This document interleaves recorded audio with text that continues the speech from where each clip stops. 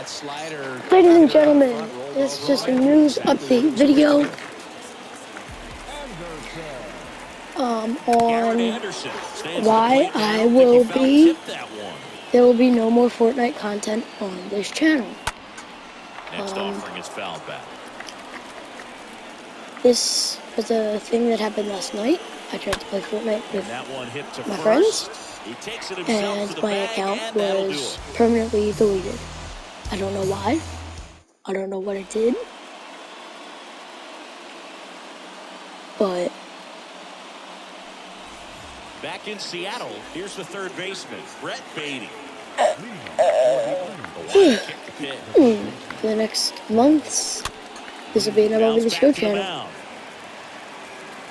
Or I just- I'd either A, stop posting, because I'll get so bored with MLB The Show, or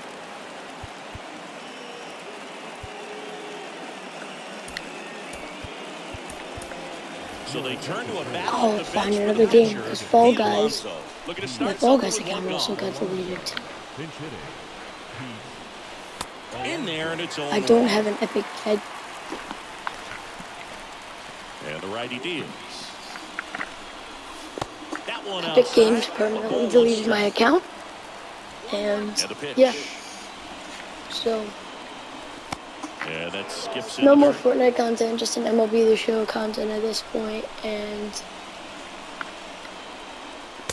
And there's a ball.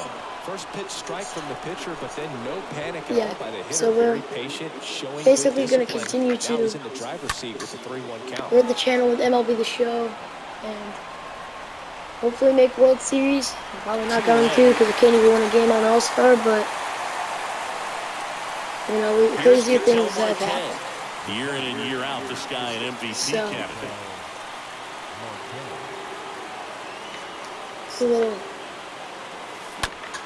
gameplay in the back for you and it big news. that's the ball game. The final one to nothing. They hang on to win it by a run.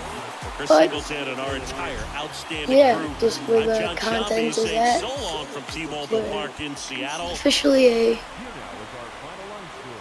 MLB The Show channel now, so yeah.